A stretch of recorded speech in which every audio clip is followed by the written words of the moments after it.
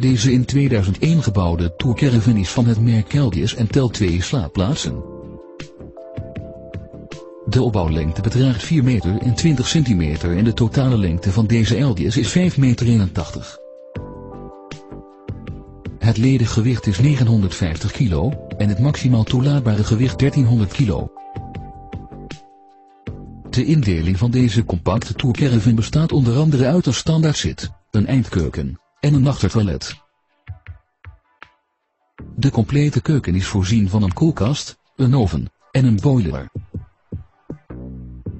De Eldis wordt verwarmd door middel van een kachel en ringverwarming.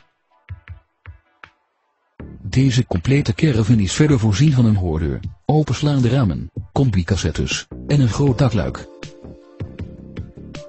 Ook zijn een radio, een douche, een kluisje en een buitenlamp in de caravan aanwezig. Deze caravan is verder uitgerust met schokbrekers, een stabilisator, een caravan mover, een accu en een omvormer met acculader.